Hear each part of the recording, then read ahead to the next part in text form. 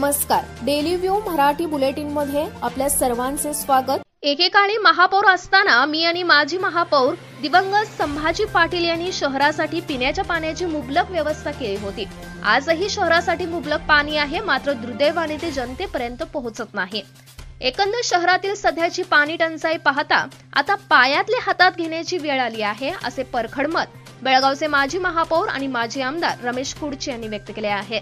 शहरात त्यांनी शनिवारी आयोजित पत्रकार परिषदेत ही माहिती दिली आहे.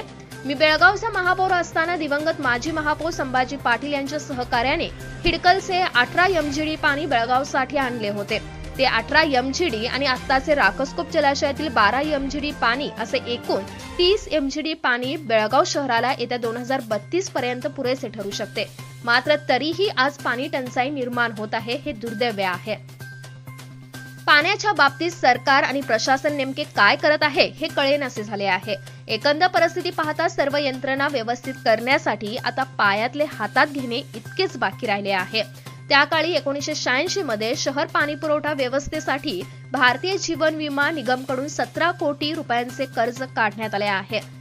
बेळगाव महापालिका म्हणजे कराच्या स्वरूपात पैसे देणारे तुम्ही आम्ही सर्वजण त्या कर्जाचे हप्ते अजूनही फेडत आहोत याचा शहरवासियांनी गांभीर्याने विचार केला पाहिजे असे ते म्हणाले. मला तरी एवढं सहनशक्ती या बेळगावच्या लोकांमध्ये आहे हे मला माहिती होतो पाच सहा वर्ष या बेळगाव मी तेच सांगत होतो कन्नडमध्ये की राघोस्कोप धरण हा बारा एम जी डी पाणी आहे. बारा एम जी डीमध्ये समजा ते गाळ बीळ हे असे दहा एम जी डीच येते सात आठ फिल्टर होऊ शकतात.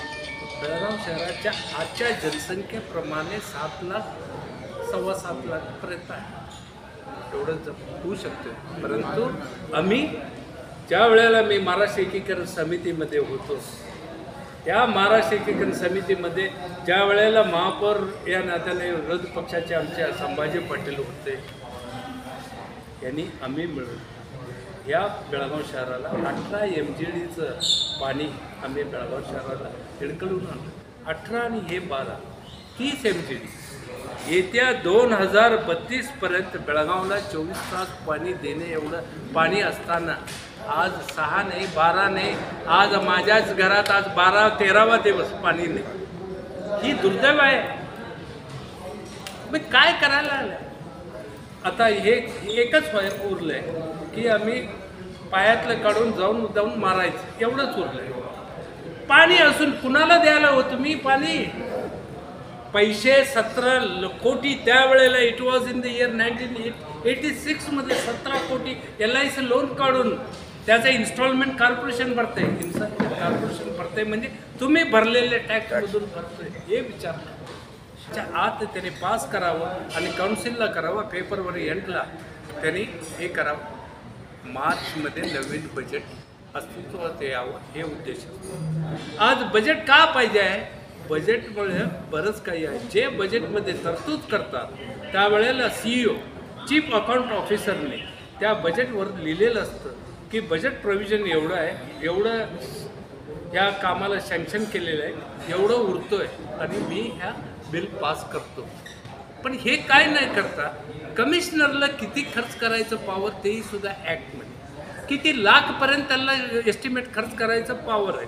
वर्क्स कमिटीला किती पॉवर आहेत? या आणि पब्लिक ह्या आमच्या हेल्थ हेल्थ कमिटीला सोशल जज कमिटी हे सगळं असताना हे सगळं प्रोव्हिजन तुडवून आज कमिशनर आम्ही आम्हीच सर्व काही आम्हीच सर्व करणार तुम्ही फक्त हे करणार आणि त्या काउन्सिलमध्ये परवाच्या दुर्दैवानं सांगावं लागतोय की बेळगावच्या समस्या आम्हाला पाणी आलं नाही आमचं कुत्रे गे हे पाठ लागले हे केलं.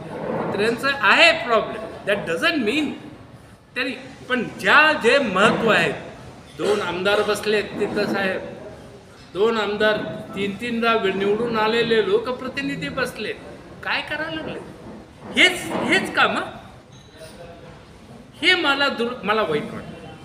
आणि ज्या तऱ्हेनं तुम्ही लिहिला आणि तुम्हाला आत घेतलं नाही तेच सांगितलं की बेळगाव विन कौन्सिल हा महापौरांच्या अधीनाखाली असतो.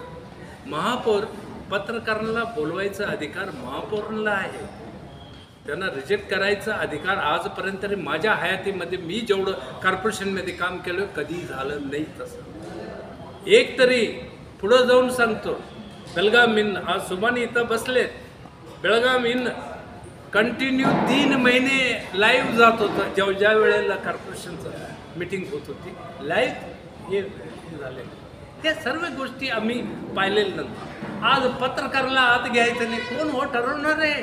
कोण हे? आणि कमिशनरला तसं कुठलंही पॉवर नाही. डी सीला नाही गव्हर्मेंटला नाही. चला. काउन्सिल महापौर. महापौर कुठल्याही पक्षाचा असो पण या बेळगाव शहराच्या प्रथम प्रजा आहेत त्यांना महत्त्व देणं आमचं काम आहे. त्यांचा अधिकार म्हणजे मी एक आमदार मी एक महापौर होतो. मलाही मला थोडंसं वाईट वाटतं. पण ह्या दृष्टीनं आज त्यांना जे काय मान सन्मान मिळाला पाहिजे महापौरांना त्यांनी देण्याचं त्यांच्या पक्षाचे जे आमदार जे मोठे नेते आहेत त्यांनी विचार करा. पक्षाचा अब्रू काढून घेऊ नका. पक्षामधल्या ज्या निव निवडून आले लोकप्रतिनिधीला त्यांना महत्त्व द्या.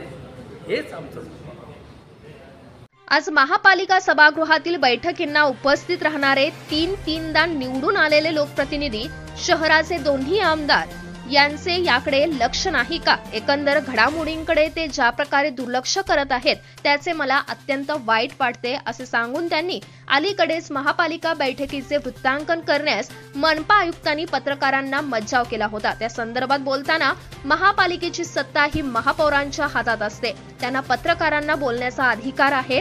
महापौर आणि नगरसेवक या नात्याने माझ्या महापालिकेतील कारकिर्दीमध्ये पत्रकारांना मज्जाव करण्याचा प्रकार कधीही घडलेला नाही. पत्रकारांना मज्जाव करणारे हे कोण? पत्रकारांना वृत्तांकन करण्यास मज्जाव करण्याचा अधिकार मनपा आयुक्त तर सोडाच खुद्द जिल्हाधिकारी किंवा सरकारला देखील नाही असे कुर्ची यांनी यावेळी स्पष्ट केले आहे. याखेरीज मनपा आयुक्तांच्या अधिकारशाहीच्या अनुषंगाने बोलताना आज जे बेळगावचे महापौर आणि उपमहापौर आहेत त्यांचा योग्य मानसन्मान राखला गेला पाहिजे तसेच तो मानसन्मान राखला जातो की नाही यावर त्यांचे वरिष्ठ नेते आणि पक्षाचे लक्ष असले पाहिजे. मात्र सध्याची परिस्थिती पाहता विद्यमान महापौर आणि उपमहापौरांच्या बाबतीत पक्षाची बेअब्रू होणार नाही याची काळजी संबंधित नेते मंडळींनी घेतली पाहिजे असे आपल्याला वाटत असल्याचे मतही एकेकाळी बेळगावचे माजी महापौर आणि आमदार राहिलेले रमेश कुडची यांनी व्यक्त केले आहे.